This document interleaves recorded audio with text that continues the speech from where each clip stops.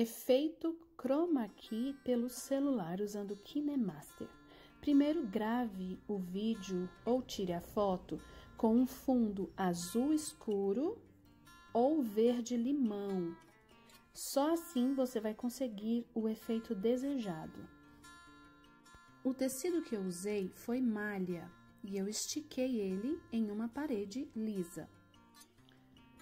Após gravar o vídeo com fundo azul ou verde limão, vá no aplicativo KineMaster. Sua tela aparecerá assim. Clique aqui. Escolha a proporção do seu vídeo.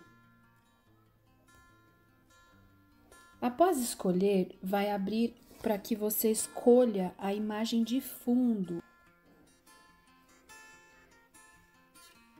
Aqui embaixo, onde tem essa linha vermelha, está me mostrando a partir de onde vai começar a nova imagem que eu vou colocar.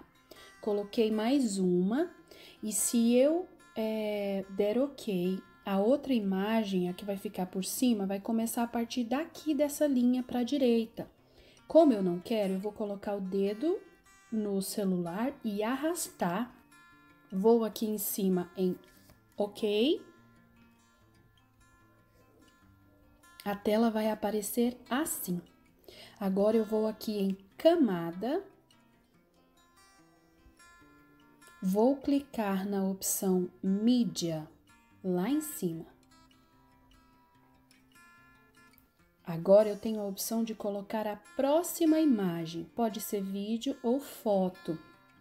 A imagem que você fez com fundo azul ou verde limão. Quando você clica nela, ela abre assim, te dando diversas opções aqui na lateral. Você pode mexer com a imagem e colocá-la onde você quiser. Pode aumentar, diminuir, do tamanho que você quer que ela apareça no seu vídeo.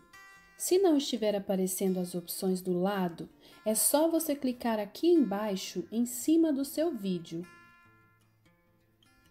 E aí já vai aparecer suba um pouquinho e escolha a opção Chroma Key. Agora você precisa ativar o efeito. Essa porcentagem é para que você é, escolha como você quer que fique a sua imagem diante do fundo. A primeira opção aqui em cima é para sua imagem, a foto de cima, a segunda foto ou vídeo que você colocou.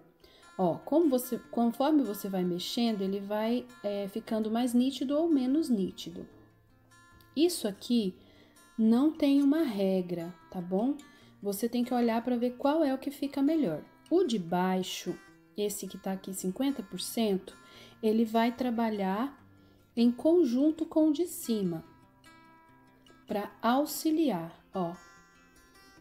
Eu posso mexer no de cima ou mexer no de baixo para que ele fique do jeito que eu gosto. Assim para mim está OK. Então eu vou ali em cima em confirmar e a tela vai aparecer assim. Agora é só dar play e ver como ficou.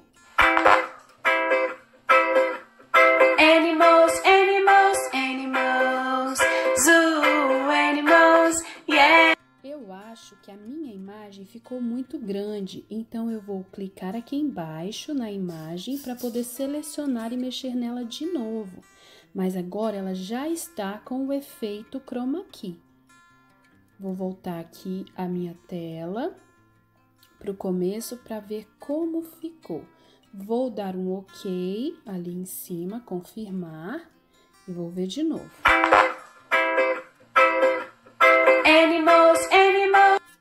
Salvar, eu preciso clicar naquela setinha lá em cima. Clico nela, exportar. Pular. Pronto, meu projeto está sendo salvo. Agora é só ir lá na galeria E ele vai estar aqui, ó. Esse foi o que nós salvamos.